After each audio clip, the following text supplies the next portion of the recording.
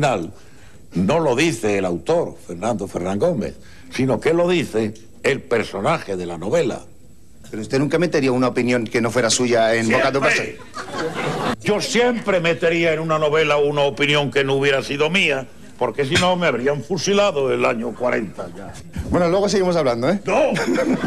Bueno, no le quería mol- molestar, ¿eh? Me ha molestado. ¿Le he molestado? Sí.